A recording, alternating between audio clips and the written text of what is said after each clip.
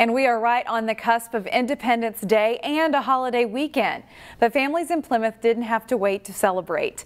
Organizers say Thursday was also a day to celebrate just being back together. It's just super duper exciting to have people back in the parks and have events going on and seeing everyone together again. It's such a it's such a great feeling to have everyone here. Families gathered near the Hilde Performance Center to decorate bicycles and tricycles with balloons, streamers, and just about anything that is red, white, and blue or star spangled. Then the Hamel VFW led the parade of families through the Hilde right to a magic show. We'll leave you with more video of the fun.